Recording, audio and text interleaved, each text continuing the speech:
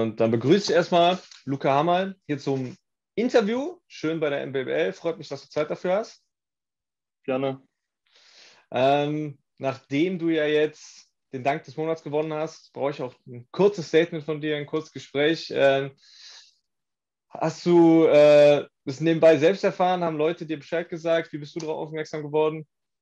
Ja, ich wurde auf jeden Fall in ein paar Insta-Stories markiert und paar Kumpels von mir haben mir geschrieben und so weiter. Ja, dann bin ich selber draufgegangen und habe mich natürlich riesig gefreut. Ja, war auf jeden Fall eine sehr knappe Abstimmung diesmal. Waren mehrere knappe Rennen und äh, hast du dich dann gut Gewissen durchgesetzt. Ähm, ich selbst war auch äh, schwer beeindruckt. Solider Eliup auf jeden Fall. Ähm, Im Zuge des Spiels auch gegen eine gute Mannschaft wahrscheinlich auch ein äh, ja, nice Momentum, oder? Auf jeden Fall. Hat gepasst. Sananda hat mir den Ball gespielt und der Pass war auch perfekt. Ich muss ihn letztendlich dann nur noch rein danken. War ein geiles Gefühl. Genau. Ja, ich denke, äh, wenn du jetzt dann die Anerkennung des Preises bekommst, dann äh, wird auf jeden Fall nochmal was fällig für den Teamkollegen für den Pass, oder? Auf jeden Fall. ja, nochmal kurz zu dir. Ähm, Du spielst ja bei den äh, Junior Löwen Braunschweig jetzt auch noch nicht so lange. Kommst ja eigentlich auch von der USC Magdeburg, richtig? Ja. Ähm, wie hast du dich da so eingelebt in der Mannschaft? Wie ist so die, die Umgewöhnung für dich ne, aus der Landesliga jetzt in der NBBL? Ich war vorher äh, bei der JBBL schon dabei mhm. in Braunschweig. Äh, ist natürlich was ganz anderes als in der NBBL zu spielen, aber dadurch dass dort auch Maxim Hoffmann mein Coach war. Der ist jetzt Trainer in Wolfenbüttel. Super Coach gewesen, hat mir immer geholfen und durch ihn konnte ich mich auch gut weiterentwickeln. Jetzt NBBL bin ich jetzt in meiner zweiten Saison und soweit, so gut. Mein Team super, verstehe mich mit allen gut und genau. Magdeburg-Braunschweig ist ja jetzt auch nicht gerade direkt um die Ecke. Ähm, was war so das Besondere für dich, für Braunschweig? Was, was hat da gepasst vor allem? Vor allem so hat mir auch das Image dort gefallen. Das heißt, mit Dennis Schröder und so. Und das kam jetzt noch dazu. Vorher war ja Braunschweig normal, sozusagen nur Braunschweig, aber es hat natürlich auch beigespielt, dass ich mich entschieden habe, dort auch zu bleiben und dort weiterzuspielen. Genau. Wie bekommt ihr so als Mannschaft im Verein den, den Einfluss von Dennis mit insgesamt, wie sich der Verein verändert hat jetzt durch die äh, ja, Neuausrichtung? Ja, wurden auf jeden Fall noch mehr professionelle Trainer geholt und gute Ausstattung. Ich denke, Dennis hilft da im Hintergrund sehr mit. Und genau, in dem Sinne gute Organisation.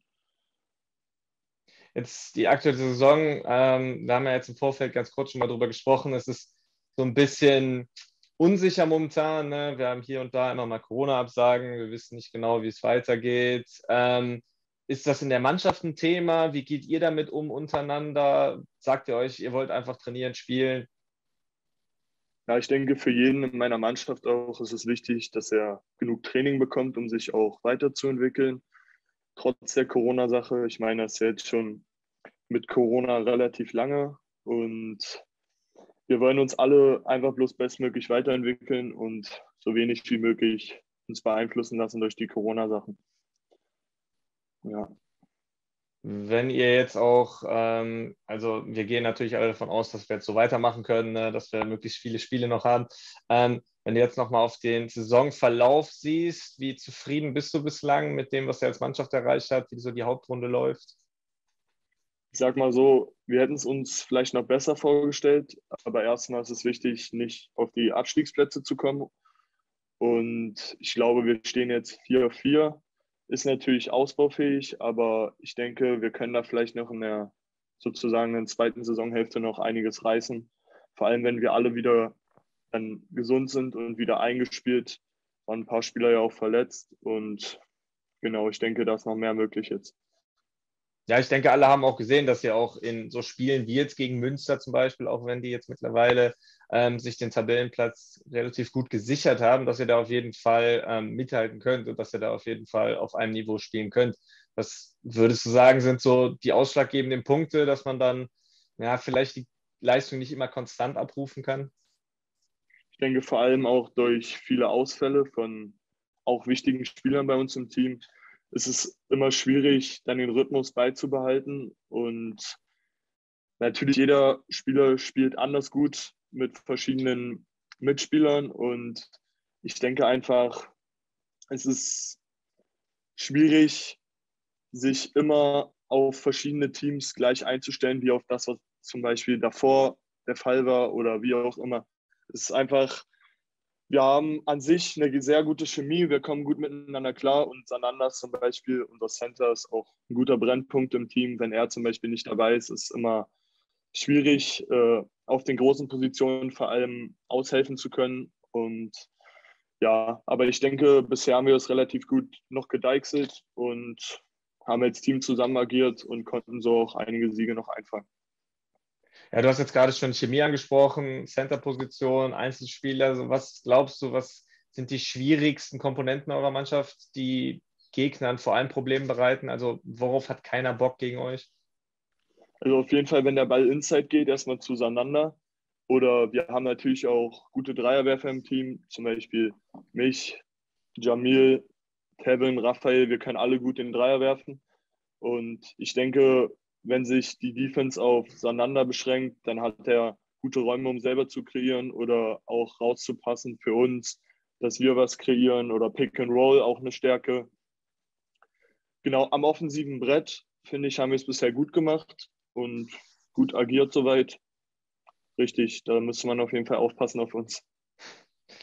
Ja, es ist auch schon ein paar Mal aufgefallen, ähm, beispielsweise jetzt auch in dem Spiel mit deinem Dank, ähm, mehrfach in Spielen bei Sport Total, die zu sehen waren, ähm, dass ihr auch athletisch einfach sehr gut aufgestellt seid. Würdest du da auch sagen, dass der Verein großen Anteil daran hat, dass äh, alle Spieler sich auf dem Niveau dauerhaft bewegen können? Ja, natürlich. Also Athletik spielt natürlich immer eine große Rolle im Basketball und bedeutet auch vor allem in wichtigen Spielen Durchhaltevermögen, dass man einfach athletische Fähigkeiten sehr wichtig im Basketball und Braunschweig, das Training hilft uns auf jeden Fall dabei weiter und richtig. Ja, das kommt dann, glaube ich, dir auch zugute für die Zukunft vor allem, weil ne, du wirst ja jetzt in wenigen Tagen 18 Jahre alt, ne, dann äh, muss man natürlich auch schon mal ein paar Schritte nach vorne gucken. Ähm, wie stellst du dir basketballerisch noch deine Zukunft vor, in den nächsten fünf Jahren vor allem? Also ich versuche auf jeden Fall meinen Weg weiterzugehen und bestmöglich mich weiterzuentwickeln und an meinen Schwächen und sowohl als auch an meinen Stärken zu arbeiten, mich einfach weiterzuentwickeln und richtig, ich möchte einfach noch besser werden und dann gucken, wohin die Reise führt. Und wenn wir jetzt noch kurzfristiger denken, wenn wir jetzt äh, auf den Rest der Saison denken, was meinst du, ist noch drin für euch? Was steckt ihr euch für ein Ziel? Hm, ich denke mal, unser bisheriges Ziel war es ja erstmal, die Klasse jetzt zu halten in Braunschweig. Aber es hat sich jetzt ein bisschen besser entwickelt, als wir wahrscheinlich alle dachten. Und mal gucken, wie weit noch ähm, der Weg in den, ich glaube, wir kommen ja in die Playdowns, wie weit da, wie wir da noch mithalten können und wie es da aussieht. Ich denke mal, wir wollen halt die ein oder anderen Siege dort noch einfahren und so weit wie möglich von den Abstiegsplätzen wegkommen. Genau. Ja, ihr habt auf jeden Fall ein sehr interessantes Projekt. Ne? Insgesamt der Verein, wie er sich verändert hat. Ich glaube, das sieht ganz Basketball Deutschland schon ähm, sehr gespannt hin. Deswegen, ich wünsche euch natürlich alles Gute, auch für den Rest der Saison. Ähm, äh, deinem Dank des Monats hast du auf jeden Fall schon mal ein kleines i-Tüpfelchen gesetzt. Ähm, da gratuliere ich dir auch von meiner Seite nochmal ganz herzlich zu. Ähm, am Ende der Saison kommen wir dann nochmal zusammen, dass wir die äh, gesamten Danks ähm, von allen Siegern nochmal gegeneinander ein bisschen ausstellen und dann mal äh, rund ums Top vorschauen, welcher der beliebteste Dank war.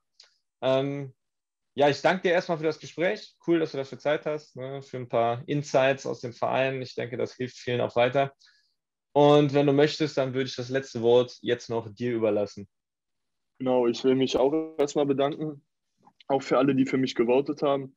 Und wollte auch noch ein kleines Wort verlieren zu den anderen Teilnehmern dieses Monats waren auch starke, starke Danks dabei und ich denke, jeder hätte verdient gehabt zu gewinnen.